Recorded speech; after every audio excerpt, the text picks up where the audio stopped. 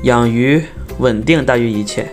大家好，我是小马，今天继续养鱼教程这个系列的视频，跟大家聊一聊稳定对于养鱼的重要性。鱼缸的稳定一般包括温度的稳定和水质的稳定。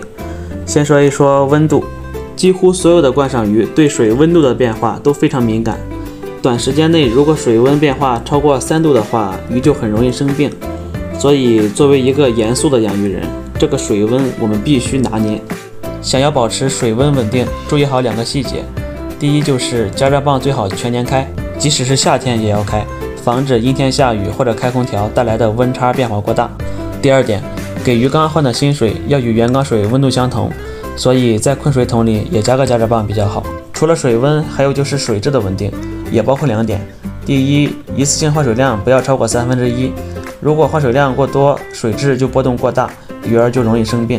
第二，清洗过滤器时，一般只清洗或者更换过滤棉即可，滤材不用经常清洗。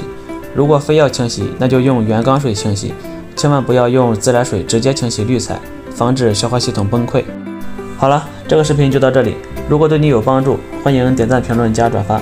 我们下个视频再见，拜拜。